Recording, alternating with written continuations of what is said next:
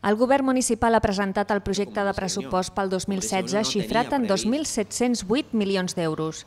Això suposa un increment del 6,2% respecte als del 2015, però sobretot un canvi de tendència, ja que es prioritza la despesa social i la inversió.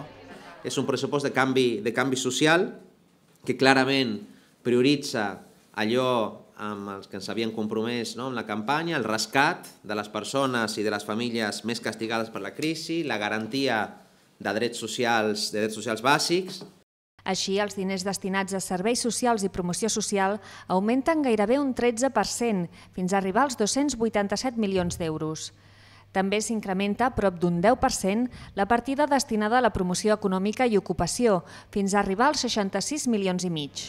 El transport públic, la participació i relació amb la ciutadania, l'educació i l'habitatge i urbanisme també són prioritats del govern que veuen incrementades les seves partides.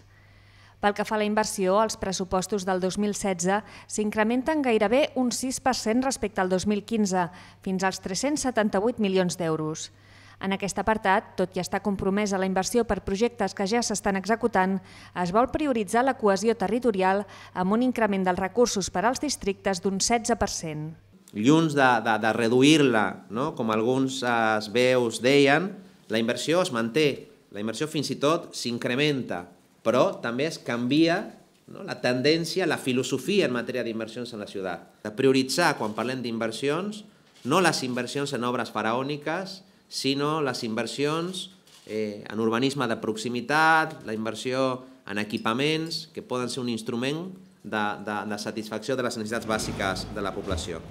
Aquest projecte de pressupost s'ha d'aprovar inicialment a la Comissió d'Economia i Hisenda i a partir d'aquí s'iniciarà un període de debat polític i ciutadà. Un cop recollides les aportacions fetes en aquest procés, es preveu que s'aprovi al plenari del mes de desembre.